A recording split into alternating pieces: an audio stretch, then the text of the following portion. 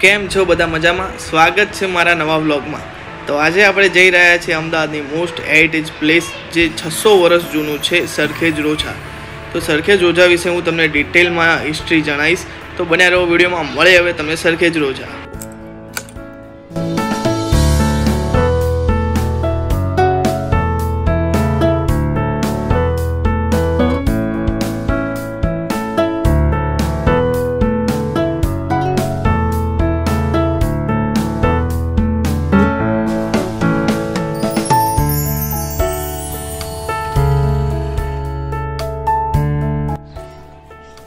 તો દોસ્તો આવી ગયા છે આપણે સરખેજ રોજા.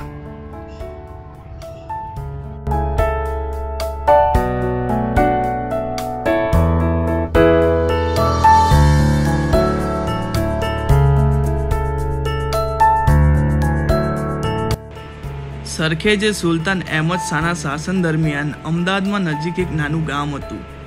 અહમદ શાહ બાદશાહ, જેમના નામ પરથી અમદાવાદ શહેરનું નામ પડ્યું.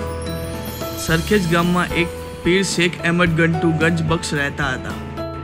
અમદાવાદ સરખેજ રોજા શાસક અહમદ શાહના આધ્યાત્મિક સલાહકાર અહમદ ખટ્ટુ ગંજબક્ષની સમૃદ્ધિ, સમર્પિત એક સમાધિ, મસ્જિદ અને મહેલ છે. હાલમાં તે અમદાવાદનું પ્રખ્યાત પર્યટન સ્થળ છે. સરખેજ રોજા ફરવા માટે સારું સ્થળ છે. લોકો અહીં પિકનિક માટે પણ આવે છે. એકસો અગિયાર વર્ષ જીવ્યા પછી તેમનું અવસાન થયું. અહમદ ગંટુ ગજ ચૌદસો પિસ્તાલીસમાં અવસાન થયું, જ્યારે અહમદ શાહ શેખ બક્ષ માટે મકબરો બનાવ્યો, જે ચૌદસો એકાવનમાં પૂર્ણ થયો. તે પછી પછીના શાસક મહમૂદ બેગડાએ કબરની આસપાસ સરખેજ તળાવ બનાવી મહેલનો સંકુલ વિસ્તાર કર્યો. મહમ્મદ બેગડા ગંજ બક્ષની સમાધિને સામે પોતાના અને તેમના અને પરિવાર માટે સમાધિ બાંધવાનો આદેશ આપ્યો. તેમની યાદમાં સુલતાને એક મકબરો બનાવ્યો. પંદરમી સદીમાં મહેમૂદ બેગડાએ કબરની આસપાસ એક મહેલ અને એક મધ્યમમાં તળાવ બનાવ્યું હતું.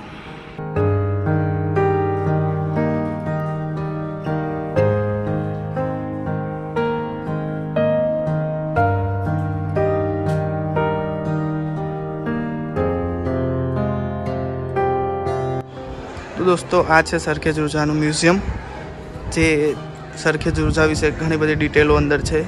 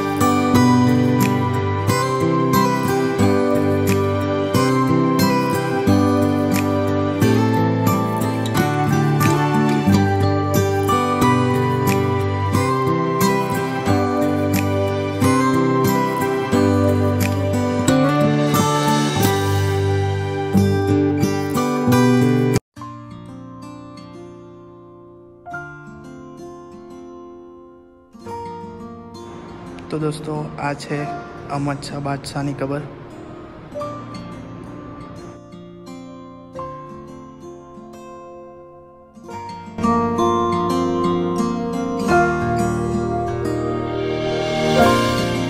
બોલિવૂડ હિન્દી ફિલ્મ રઈસના કેટલાક દ્રશ્યો સરખેજ રોજા ખાતે શૂટ કરવામાં આવ્યા હતા.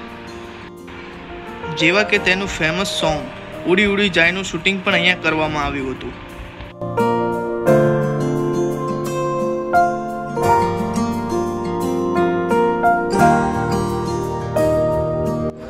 પંદરમી સદીમાં મહેમૂદ બેગડાએ કબરની આસપાસ મહેલ અને તળાવ બનાવ્યું હતું જે આ છે.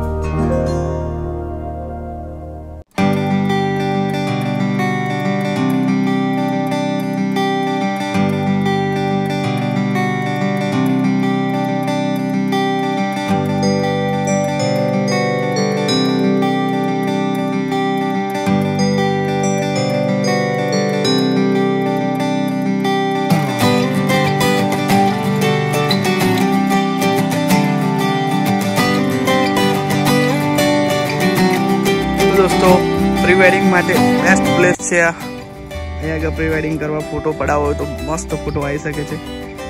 કોઈને ફોટો પડાવવાનો શોખ હોય પ્રી વેડિંગનો શોખ હોય તો અહીંયા આવી શકે છે.